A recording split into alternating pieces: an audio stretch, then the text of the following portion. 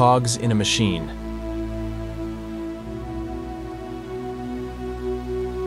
After one month, society grapples with the shock of predestined careers.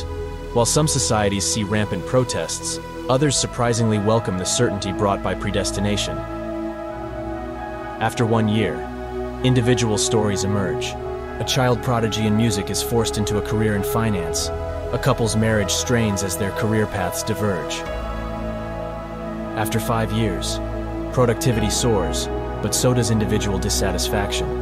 Technological advancements facilitate the enforcement of predestined career paths.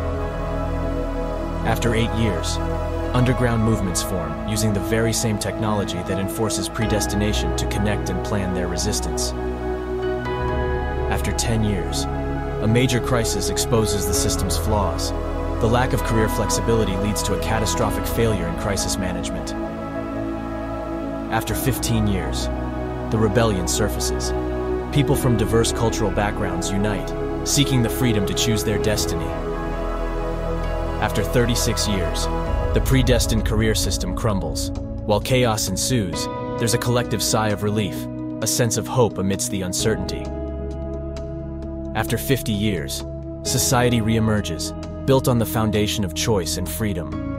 Technology now empowers individuals to explore multiple career paths. After 72 years, the world celebrates the freedom of choice, remembering the predestined era as a reminder of their hard-earned liberty.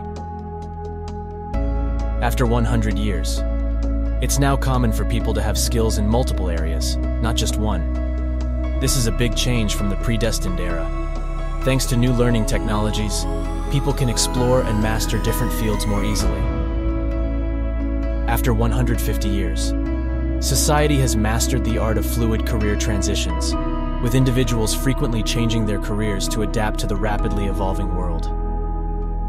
After 360 years, society has achieved a state of equilibrium where personal aspirations, societal needs, and environmental sustainability coexist. The history of the predestined era serves as a lesson in avoiding extremes. After 500 years, Technological breakthroughs lead to the emergence of conscious technology, capable of understanding and catering to an individual's aptitude and interests, guiding them in their career exploration. After 1,000 years, with the advent of interstellar travel, new career paths unimaginable before have opened up. The predestined era is now a distant memory, yet its lessons about freedom of choice guide humanity in its galactic exploration. After 10,000 years, humanity, now a part of a vast intergalactic civilization, contributes in myriad ways. The memory of the predestined era is preserved in the form of an ancient Earth relic. After 100,000 years, humanity has evolved into a networked consciousness, experiencing multiple realities simultaneously. The predestined era serves as a stark contrast to the infinite choices now available.